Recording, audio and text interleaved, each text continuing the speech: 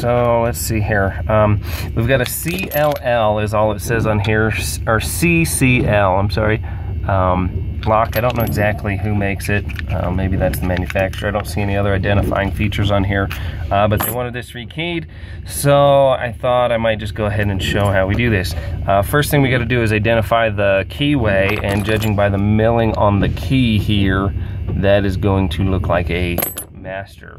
Um, it is not the M1 keyway, not that one. It is the exact opposite milling, uh, still master key, um, but the opposite milling. You can see how they're directly opposite of each other here.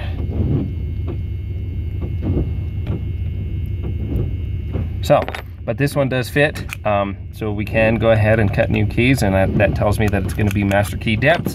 So we pull out the good old master uh, rekeying pin kit right here. Um, it's going to give us all the stuff we need. The followers will be the correct size, uh, all that fun stuff. We got two screws here. These are just going to come right out. Try and focus that down there. Bingo.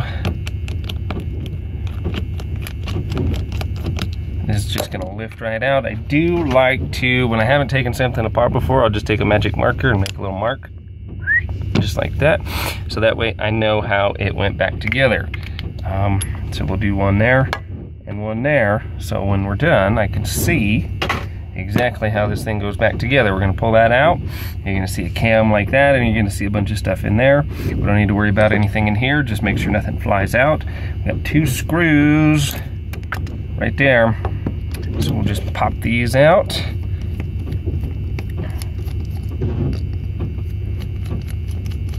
And bingo, that's gonna give us a cylinder. Look and see what's holding the cylinder in. It looks like it's gonna be this clip right here. So what we need is a working key. Okay, working key, and we're gonna rotate that around. And you'll see that now there's nothing holding that clip in. So we can go ahead and take a screwdriver and bink, pop our little clip out, just like so. And we got our clip, little half moon clip. Uh, we'll go ahead and take this. This is gonna be a little tricky. It would look as though this would go into this tailpiece end right here like so, but it does not, it won't fit that way. Um, it's too thick. Uh, so what I'm gonna do is just barely turn that over. So the key would be in about that position and the tail is in about that position. And then we're just gonna run this right along with it, keeping the pins up in the top uh, and using the top of the follower like so. Okay, so we'll go ahead and do that.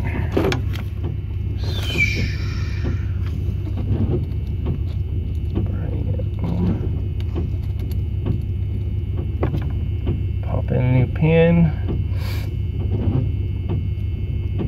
To our new key, we need our new key. Just about like so.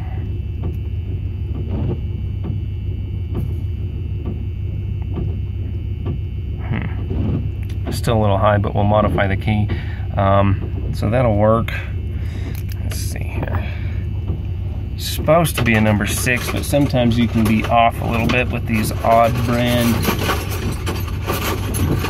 locks. So, because that pin is sticking up just a little bit,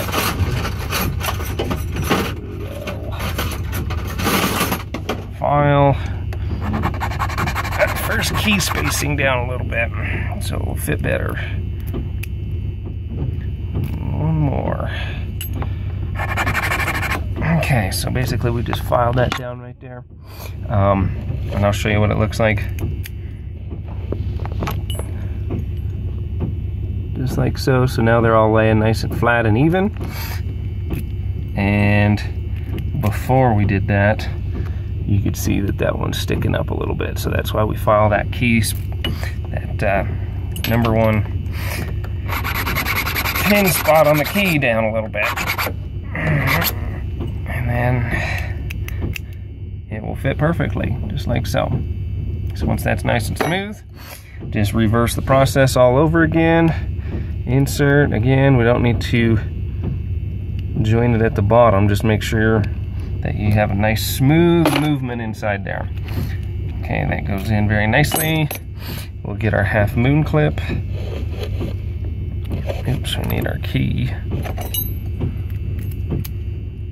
to turn that around. And then we'll reinsert our moon clip. And as soon as that is inserted, then it can't fall out again. Very good. And this is why we have our lines, match up our lines reinsert our screws.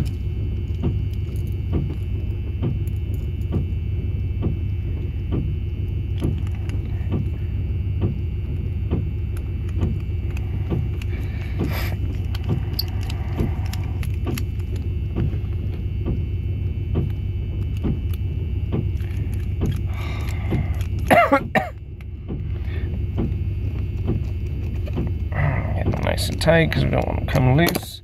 And we're going to put that half moon tail piece into that half moon piece here.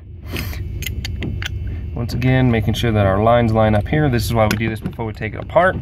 That way we make sure we don't put it back together upside down or something or backwards, uh, which obviously I have done many times.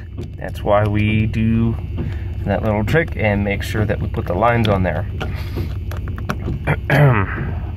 Let's see, it's gonna work. One more screw.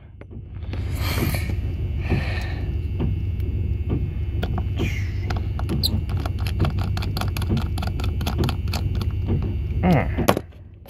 And bingo, old key does not work anymore. And new key does. So, for more information, check out the website below. Hey guys, it's the end of the video um, you know, help me out and help me help you out. Uh, right below the description box right here is a red subscribe button. Subscribe to me and then you're going to get the latest and greatest information that I put out. Sometimes it applies to you, sometimes it doesn't. Um, you know, it, it's just going to at least let you know that uh, we're putting out new and current information. And then right over here is a thumbs up button. Give me a thumbs up. Help this video uh, rank higher in the searches for the search terms that you're using and let other people be able to see this. Um, you know, that's the best way you can help. Interact, leave a comment. I will get back with you if I can and try and help you answer your questions. But the more you interact and post this to Facebook, Twitter, Google Plus, and spread this through the social media, uh, the more that allows me to be able to help do more videos. So thank you so much for watching. I really appreciate it. And uh, subscribe, share, and like. Thanks a lot, guys. Appreciate it.